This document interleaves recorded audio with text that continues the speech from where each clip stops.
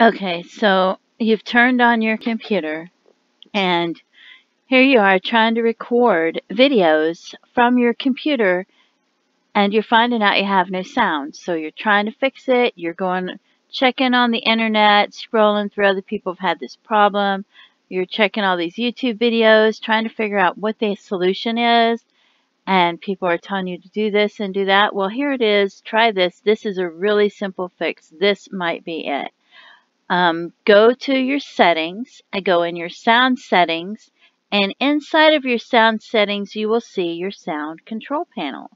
Open up your sound control panel, click on the recording tab, you'll see microphone, click on the microphone and you'll see the properties.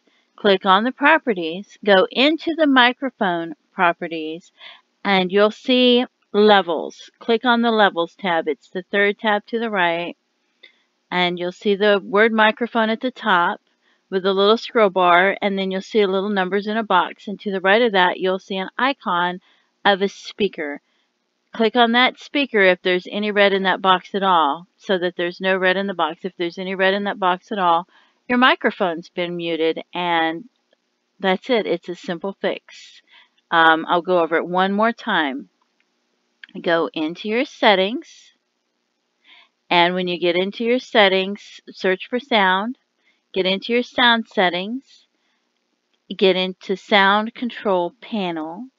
Once you're in sound control panel, you have the tabs playback, recording, sounds, and communications.